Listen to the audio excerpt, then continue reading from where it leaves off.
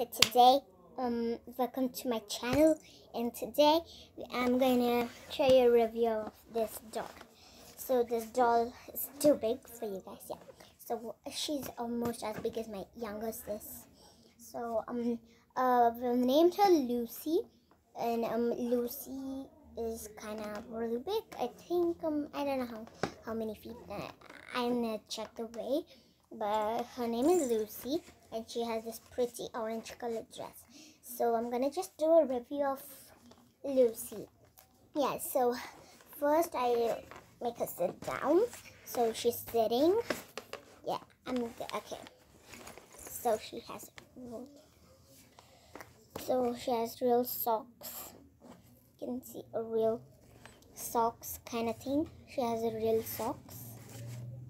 These socks are so real.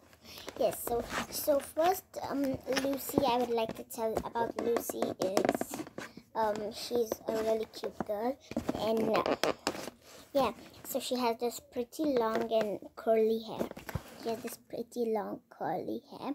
So you can see her hair it's so curly and good. And yeah so we had she is not such a good quality plastic but she's really good and um her eyes closed when she sleeps. See, she's sleeping and her eyes are closed. Guys can see. So um now I'm gonna wake her up and her eyes are open. So um she even had this pretty light lipstick shade, and then she has this pretty orange dress. And um I like the most thing I liked about her dress is this frill and this silver lining, and it's a full neck.